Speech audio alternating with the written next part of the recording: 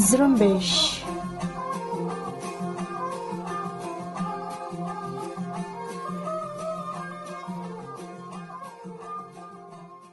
ये रेडियो जुम्बिश उर्दू की आवाज़ है आज 17 अगस्त, पीर का दिन और साल 2020 है और आपका मेज़बान हुमेरा बलोच आपकी खिदमत में हाजिर है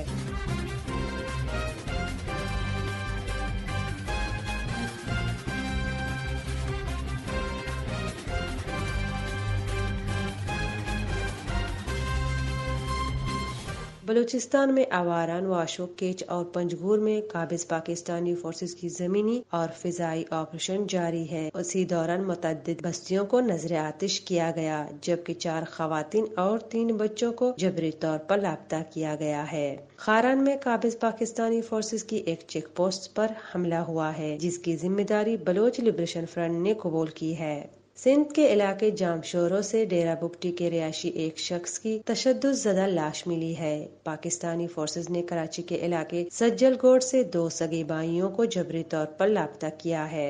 अमेरिका ने अपने एक हज़ार फौजियों को जर्मनी से पोलैंड मुंतकिल करने का मुआदा किया है। ये थी चंद अहम खबरों की सुर्खियाँ। काबिज पाकिस्तानी फौज के हाथों तुर्बत में हयात मिर्ज़ा बलोच के सफ़ा खाना कत्ल के खिलाफ एहतजाजी मुजाहरों का सिलसिला जारी है। इसी सिलसिले में क्वेटा और कराची में एहतजाजी मुजाहरे किए गए, जबकि तुरबत और हैदराबाद सिंध में आज मुजाहरे किए जाएँगे। इसी सिलसिले में सुनते हैं रेडियो जुम्बिश से तफसीली रिपोर्ट दोस्तिन मुराद बलोच से।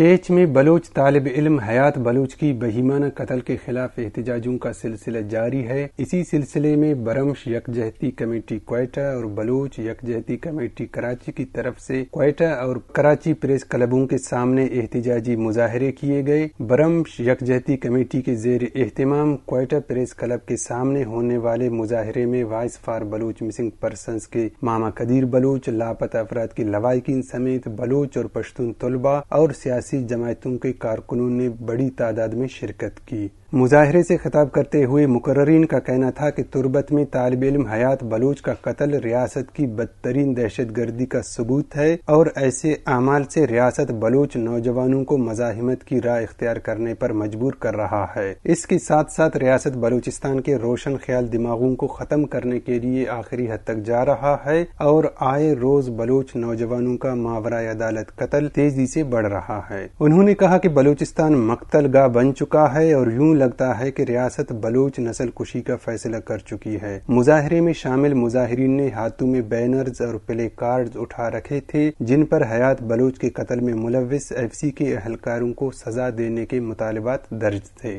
जबकि कराची में होने वाले बलूच यकजहती कमेटी कराची के मुकर्रीन ने मुजाहरीन से खताब करते हुए कहा कि तालब इल्म हयात बलूच का बेदर्दी से कत्ल कई सवाल को जन्म देता है और वाजे करता है कि बलूचिस्तान में तालब इल्मों को क्यों तहफ़ हासिल नहीं। उनका कहना था कि ये कत्ल दरअसल एक तालब इल्म का नहीं, बल्कि ये कत्ल एक खानदान के अरमानों का कत्ल है। ये कत्ल कौम के मुस्तबिल का कत्ल है। ये कत्ल तालब इल्मों की आज़ादी का कत्ल है। और ये इंसाफ का भी कत्ल है। उन्होंने कहा कि इस कत्ल ने तालब इल्मों और खासकर बलोच माशरे में खौफ को जन्म दिया है। इसी खौफ ने बलोच माशरे में बसने वाले लोगों की जिंदगियों को उलझनों में डाल दिया है। मुकर्री ने मजीद कहा कि बलोच तालब इल्मों समेत तमाम मकतब फ़िक्र के लोगों को शहीद हयात बलोच के कत्ल के खिलाफ यकजा होकर आवाज़ बुलंद करने की ज़रूरत है। बलूच नेशनल मूवमेंट के चेयरमैन खलील बलूच ने कहा है कि पाकिस्तानी फौज के हाथों कत्ल होने वाले कराची यूनिवर्सिटी के तालब इल्म हयात बलूच का कत्ल अपनी नौयत का पहला वाक़ नहीं है और न ही ये इतफाक है। बल्कि बलूच कौम के साथ बलूचिस्तान के तूल अर्ज़ में ऐसे वाकयात तवातुर के साथ पेश आ रहे हैं। लेकिन मीडिया और इंसानी हकूक के तंजीमों की अदम रसाई की वजह से ऐसे वाकयात वहीं दबकर रह जाते हैं। उन्होंने कहा कि नौजवान हयात बलूच का कत्ल लर्ज खेज और पाकिस्तानी फौज की दरिंदगी और हैवानियत की बदतरीन मिसाल है।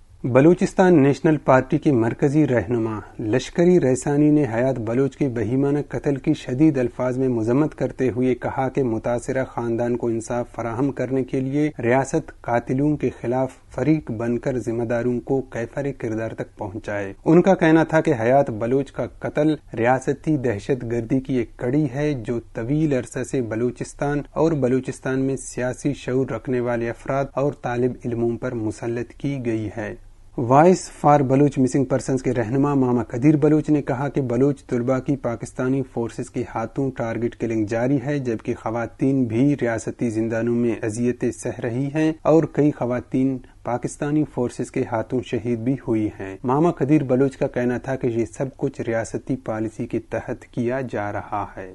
बीएसओ पजार के मरकजी रहनुमाओं ने कहा है कि तुर्बत आबसर में दिन दहाड़े पाकिस्तानी फोर्सेस की टारगेट किलिंग का निशाना बनने वाले हयात बलूच की शहादत, सत्तर साल जुल्म बरबरीत की निशानी और टारगेट किलिंग है। उन्होंने हुक्काम बाला से मुतालबा किया कि पाकिस्तानी फोर्सेस के हाथों कत्ल होने वाले तालब इल्म हयात बलूच के कत्ल की जोडिशल इंक्वायरी कराया जाए।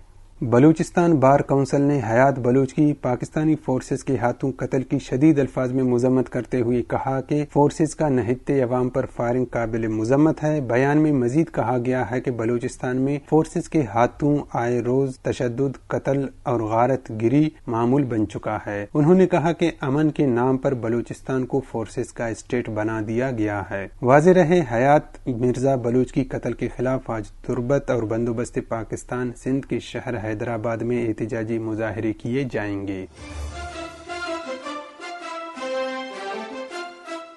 ये थे दोस्तिन मुराद बलोच। अब आज की न्यूज़ बुलेटिन में शामिल बलूचिस्तान से मुतल खबरें सारिन बलोच पेश करेंगी।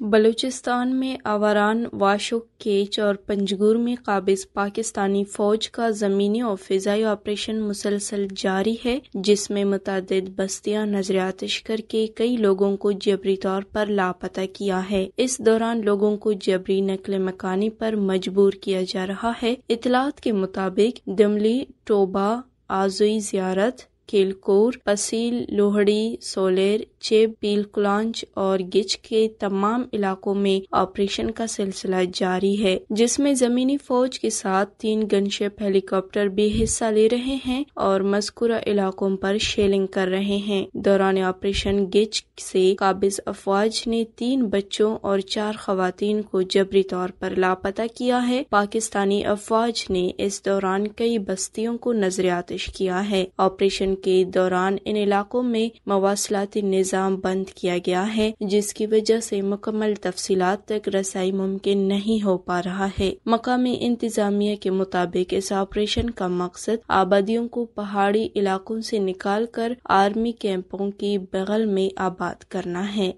खारान के इलाके ताजीना में मुसल्ह अफराद ने काबिज पाकिस्तानी फोर्सेस की चौकी पर हमला किया है। हमले में काबिज फोर्सेस को जानी और माली नुकसान भी उठाना पड़ा है। ताहम पाकिस्तान की अस्करी हुकाम ने इस हमले की तरदीद या तस्दीक नहीं की है। दूसरी तरफ़ बलूचिस्तान लिब्रेशन फ्रंट के तर्जुमान मेजर गुहरम बलोच ने इस हमले की ज़िम्मेदारी कबूल करते हुए कहा है की इतवार की सुबह खारान में सात बजे ताजीना में कायम आर्मी चेक पोस्ट पर मौजूद एक फौजी एहलकार को स्नाइपर से निशाना बनाकर हलाक किया। मेजर गोहरम बलोच ने काबिज पाकिस्तानी फौज पर एक और हमले की ज़िम्मेदारी कबूल करते हुए कहा है कि उनके सरमचारों ने 14 अगस्त की सुबह झाऊ दराज कोर में पाँच गाड़ियों पर मुश्तमिल पाकिस्तानी फौजी काफिले पर घात लगाकर हमला किया, जिसमें काबिज फौज के पाँच एहलकार हलाक और तीन जख्मी हुए। बलूचिस्तान के इलाके डेरा बुगटी के रिहायशी एक शख्स की लाश सिंध के शहर जामशुरू से मिली है, जिसे गोलियाँ मारकर कत्ल किया गया है, जिसके जख्म ताज़ा हैं। मकतूल की शनाख्त खान मोहम्मद, वलदी मोहम्मद अली बुगटी के नाम से हुई है। दूसरी तरफ़ बलूच रिपब्लिकन पार्टी के मरकजी तर्जुमान शेर मोहम्मद बुगटी ने कहा है कि कराची के इलाके मेमन घोट में रिहाइश पजीर खान मोहम्मद बुगटी, वलद मोहम्मद अली बुगटी को गुजशत शब पाकिस्तानी खुफिया इदारों और डेथ स्क्वाड के कारिंदों ने अगवा के बाद शहीद कर दिया है। शेर मोहम्मद बुगटी का कहना था कि खान मोहम्मद बुगटी साल 2006 में डेरा बुगटी में फौजी ऑपरेशन के बाद सिंध के मुख्तलिफ़ इलाकों में महाजिर की ज़िंदगी गुजार रहे थे। उन्हें साल 2012 में भी रियासती खुफिया इदारों के एहलकारों ने अगवा किया था और सात साल बाद जनवरी साल 2019 को रिहा कर दिया था। बलोच स्टूडेंट्स ऑर्गेनाइजेशन आज़ाद के मरकजी चेयरमैन सोहराब बलोच की जेर सदारत शहीद रजा जहांगीर और शहीद इमदाद बुजेर की सातवीं बरसी की मुनासिबत से रेफरेंस मुनद किया गया, जिसमें बलोच नेशनल मूवमेंट के मेम्बरान भी शरीक हुए और शहीद रजा जहांगीर और इमदाद बुजेर को खराज अकीदत पेश किया। इस मौके पर बी एस ओ आज़ाद के चेयरमैन ने खिताब करते हुए कहा कि इस प्रोग्राम का मकसद न सिर्फ़ शहदा को खराज तहसीन पेश करना है, बल्कि इस रेफरेंस के ज़रिए आम आवाम और बलोच जोहदकारों को शहदा के किरदार अमाल से आगाही फराहम करके उनके नक्श कदम पे चलने की तलकीन करना है। जिन शहदा का तस्करा आज के इस रेफरेंस में किया जा रहा है, जिन्होंने अपनी ज़िंदगी कौम के बेहतर मुस्तकबिल के लिए कुर्बान कर दी, उन नौजवानों ने सख्त और कठिन हालात में सियासी प्रोग्राम को नस्बलाइन समझ कर जिदोजहद की और सियासी शूर को वसत दी। रेफरेंस से बलोच नेशनल मूवमेंट के कायदीन ने खिताब करते हुए शहदा को खराज तहसीन पेश की और कहा कि शहीद रजा और इमदाद बुजीर बलोच तारीख के रोशन सितारे थे, जिनकी जिदोजहद का महवर और मरकज बलोच कौमी आज़ादी है। बलूचिस्तान के बाद सिंध में भी काबिज पाकिस्तानी फौज के हाथों सियासी कारकुनों की जबरी गुमशदगियों का सिलसिला जारी है। ताज़ा तरीन इतलात के मुताबिक कराची में सचल गोट से काबिज पाकिस्तानी फौज ने बशीर शरनामी एक पंद्रह साल नौजवान को उसके भाई गुलाम रसूल शर के साथ जबरी तौर पर लापता किया है। Voice for missing person of Sindh ने दोनों भाइयों के जबरी गुमशदगी की शदीद अल्फाज में मजम्मत करके दोनों की बाजियाबी का मुतालबा किया है। बलूचिस्तान में कोरोना वायरस में मुबतला अफराद की तादाद में फिर तेज़ी से इजाफा होने लगा है। ताज़ा एदादुशुमार के मुताबिक चार अजला में कोरोना वायरस के 80 नए मरीज़ सामने आने के बाद कोरोना वायरस के मजमू मरीजों की तादाद बारह हज़ार दो सौ चौबीस हो गई है। जबकि बलूचिस्तान भर में इस वक्त अस्पतालों करंतना मराकज और घरों पर कोरोना वायरस के सिर्फ़ एक हज़ार तीन सौ तीन मरीज़ जेर इलाज हैं। खारान में इंतजामिया ने 100 के करीब अफराद की स्मगलिंग नाकाम बनाते हुए निन्यानवे अफराद को एक ट्रक से बरामद करके लेवीज हुकाम के हवाले किया है। मस्कुरा अफराद का ताल्लुक पंजाब और खैबर पख्तनख्वा से है, जिनमें बच्चे भी शामिल है। मस्कुरा अफराद को बलूचिस्तान के रास्ते यूरोपीय ममालिक भेजा जाना था। लोरालाई के करीब कार और ट्रक में तसादम हुई है, जिसके नतीजे में दो बच्चों समेत पाँच अफराद हलाक और तीन जख्मी हो गए हैं। केज के इलाके दश्त में दो गाड़ियों में शदीद तसादम, एक नौजवान हलाक हुआ है। बख्तियाराबाद में दो ट्रकों में तसादम से एक शख्स हलाक और दो जख्मी हुए। हब में नूरानी रोड हसन पीर मज़ार के करीब साकरान पुलिस थाना की हदूद से झाड़ियों से कई रोज पुरानी तशद सदा लाश बरामद हुई है। कोयटा किली करानी में करंट लगने से एक शख्स हलाक हुआ है।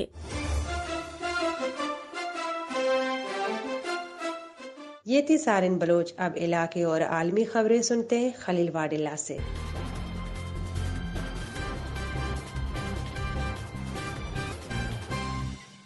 जमीयत इस्लाम के सरबरा मौलाना फजल रहमान ने कहा है कि पाकिस्तान को बचाना है तो इन हुक्मरानों को निकालना होगा। पिशावर में एक तकरीब से किताब करते हुए मौलाना फजल रहमान का कहना था कि हम आमराना रवैयों से पहले भी लड़ते थे, अब भी लड़ेंगे। उन्होंने कहा कि जाति और पार्टी मुफादात से बालातर होकर मुल्की मुफाद के लिए सोचना होगा। ये हुक्मरान और पाकिस्तान एक साथ नहीं चल सकते। हम मुल्क को आइन और कानून की बालादस्ती की तरफ़ ले जाना चाहते हैं।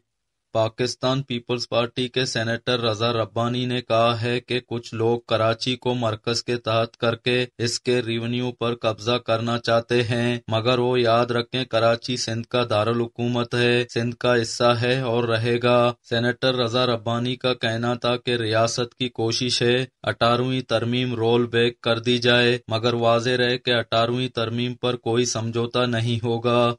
फ्रांसीसी हुकूमत ने अफगान हुकूमत से मुतालबा किया है कि वो फ्रांसीसी शहरियों के कत्ल के इल्ज़ाम में गिरफ़्तार तीन तालिबान कमांडरों को रिहा न करे। इस हवाले से फ्रांसीसी वजारत कारजा का कहना था कि फ्रांसीसी शहरियों के खिलाफ जराइम के मरतकब अपराध की रिहाई खास तौर पर फौजियों के कत्ल में मुलवस अनासर को रिहा करना नाकाबले कबूल है। मुत्तहदा अरब इमारात ने कहा है कि इसने इसराइल के साथ ताल्लुकात को मामूल पर लाने का फैसला ईरान का मुकाबला करने के लिए नहीं किया है। मुत्तहदा अरब इमारात ने तुर्क सदर रजब तैयब उर्दगान की अमन डील पर तनकीद मुस्तरद करते हुए कहा है कि ये डील ईरान के बारे में नहीं, ये यू ए इसराइल और अमरीका से मुतलक है। मुत्तहदा अरब इमारात की जानिब से इसराइल को तस्लीम करने के मुआदे के खिलाफ फलस्तीनी शहरियों ने मस्जिद अक्सा के सामने मुत्तहदा अरब इमारात के वली अहद के खिलाफ एहतजाजी मुजाहरा किया, जिसमें शहरियों की बड़ी तादाद ने शिरकत की। मुजाहरीन ने मुत्तहदा अरब इमारात के वली अहद शेख मोहम्मद बिन जायद अल नहियान के खिलाफ शदीद नारेबाजी की गई और इसकी तस्वीर वाले बैनर्स को आग लगा दिया गया। इसराइली फौज ने अतवार के रोज एक ऐलान में बताया है कि गजा पट्टी से आतिशगीर गुब्बारे दागे जाने के बाद उसने गजा में फिशिंग जोन बंद करके माहीगीरों को समंदर में काम करने से रोक दिया है। फौजी बयान में कहा गया है कि ये इकदाम गजा पट्टी से इसराइल की जानब आतिशगीर गुब्बारों और राकटों के दागे जाने के जवाब में किया गया है। अमरीकी वज़ीर कारजा माइक पोम्पियो ने पोलैंड के साथ एक नए दिपाई मुआदे पर दस्तखत किए हैं, जिसके तहत अमरीकी फौजियों को जर्मनी से पोलैंड में तैनात किया जाएगा। इस मुआदे के बाद पोलैंड में अमरीकी फौजी एहलकारों की तादाद पाँच हज़ार पाँच सौ के करीब पहुँच जाएगी। पोलिश वज़ीर दिपा मारियोस बलेजिक ने कहा है कि अगर किसी कतरे ने जवाब पैदा किया तो ये तादाद फौरी तौर पर बीस हज़ार तक बढ़ाई जा सकती है। अमेरिका के सदर डोनाल्ड ट्रंप ने चीन की मारूफ वीडियो शेयरिंग ऐप टिकटॉक के मालिक कंपनी बाइट डांस को अमेरिका में अपने ऐसे तमाम असासे नब्बे रोज में बेचने का हुक्म दिया है, जिनसे टिकटॉक के बिज़नेस में मदद मिल सकती है। सदर ट्रंप के इंतजामी हुक्म में कहा गया है कि मुस्तनद जराए से हासिल शुदा मालूम के बाद अमरीका की कौमी सलामती को खतरात से बचाने के लिए ये कार्रवाई करनी पड़ी। भारतीय क्रिकेट टीम के सबक कप्तान महेंद्र सिंह धोनी और ऑलराउंडर सुरेश रैना ने एक ही रोज बैन अवी क्रिकेट से रिटायरमेंट का ऐलान कर दिया है। उनतालीस साल एम एस धोनी भारत के सबसे कामयाब कप्तान माने जाते हैं और वो वायद कप्तान हैं जिनकी क्यादत में भारत ने आईसीसी के तीनों ट्रॉफियाँ world cup, T twenty world cup और चैंपियंस ट्रॉफी जीतने का एजाज हासिल किया। दूसरी तरफ़ ऑलराउंडर सुरेश रैना ने भी महेंद्र सिंह धोनी के रिटायरमेंट के चंद लम्हों बाद बैन अवी क्रिकेट से अपनी रिटायरमेंट का ऐलान कर दिया। इसी के साथ ही आज की न्यूज़ बुलेटिन का अख्ताम होता है। अपनी मेजबान मेरा बलोच को इजाज़त दीजिए और मजीद खबरों के लिए विज़िट करते रहे हमारे वेबसाइट जुम्बिश डॉट कॉम